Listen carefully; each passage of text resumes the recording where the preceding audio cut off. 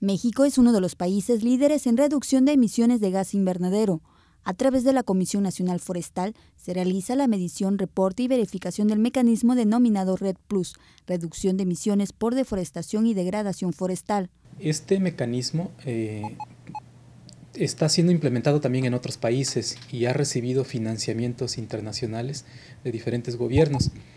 México ha recibido un financiamiento específico del gobierno de Noruega para prepararse eh, como país ante este posible mecanismo que se va a implementar dentro de algunos años. La preparación implica mantener una estrategia nacional y sistemas de medición, reportes de verificación de los gases de efecto invernadero. El financiamiento que recibe México concluirá este año, por lo que la CONAFOR estableció la revisión de los resultados que se obtuvieron de estos recursos. Al momento se encuentran en proceso proyectos pilotos que se definen como áreas de acción temprana, donde participan cinco estados, entre ellos Chiapas. Desde el 2010, programa de acciones tempranas se está implementando en la región de la Selva Lacandona, en el cual a través de acciones eh, forestales de manejo de territorio eh, hay un impacto. Eh, se disminuyen estas emisiones de gases de efecto invernadero causadas por los cambios de uso de suelo y por manejo forestal.